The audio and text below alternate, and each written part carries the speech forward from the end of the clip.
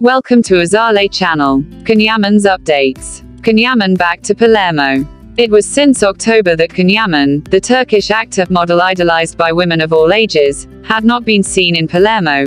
We see him on Sunday as he leaves his home in Rome, next to the Colosseum, and then traveling by plane towards the Sicilian capital. Work reasons, he will reunite with the cast and troupe of the Mediaset fiction, Viola Il Mare, for the very last touches since the debut is scheduled for Friday the 11th of March on Canal 5.